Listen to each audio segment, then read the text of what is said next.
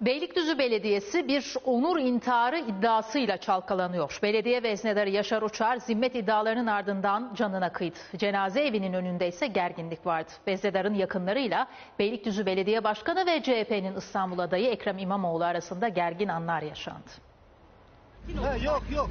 Yaşar'ı geri getirebilecek misin? Şu an sana kafa atmak istiyorum. Çocuğa diyorlar ki suçu kabul et, faturayı kes bu işi da- kapatalım. Çocuk da diyor ki benim onurumu kırdınız. Beylikdüzü Belediyesi'nin 25 yıllık veznedarı iddiaya göre zimmet iddialarının ardından canına kıydı. Yakınları tesadüfen cenaze evinin önünden geçen Beylikdüzü Belediye Başkanı ve CHP'nin İstanbul Büyükşehir Belediye Başkan adayına böyle tepki gösterdi. Ya buradan reklam yaparak gidiyor. Sen dedim Yaşar Uçar'ı tanıyor musun? Peki dedim.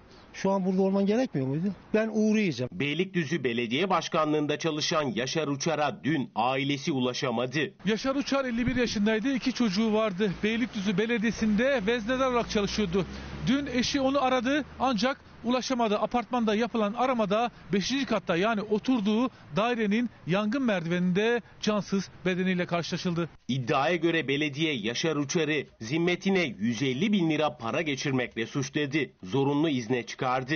Çocuğa iftira atıyorlar. Şimdi bir e, para mevzusu var. Paranın içeri giriyor ama para ortada yok. Bu da veznedar olduğu için bize makbuz kes. O da demiş ki ben almadığım paranın bir makbuzunu kesmem. Yakınlarına göre Yaşar Uçar zimmet iddiasına iftira dedi, suçlamayı gururuna yediremedi. bu çocuk onuruna sığdıramadı kendini astı. Ha, yok yok. Yaşar'ı geri getirebilecek misin? İddiaya göre Yaşar Uçar canına kıymadan önce kendini suçlayanlarla ilgili 11 sayfalık bir mektup yazdı. Burada olup biteni 11 sayfa, sayfa mektup yazıyor. İki tane polis bir savcıydı herhalde. Aldı gitti. Yaşar Uçar'ın yakınları cenaze evindeyken Beylikdüzü Belediye Başkanı ve CHP İstanbul Büyükşehir Belediye Başkan adayı Ekrem İmamoğlu da seçim propagandası için oradan geçiyordu. Ha, yok yok. Şu an sana kafa atmak istiyorum. Sakin ne lan?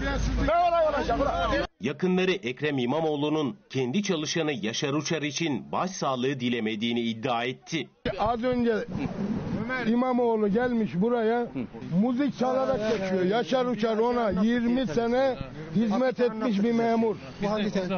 Saygısızca burada müzik çalarak oy topluyor. Bugün Anladın mı? e, seçim propagandasına çıkması yanlış. Gelecek buraya başsağlığı verecek. Savcı intihara ilişkin soruşturma başlattı. Yaşar Uçar'ın belediye hesap hareketlerinin de inceleneceği öğrenildi.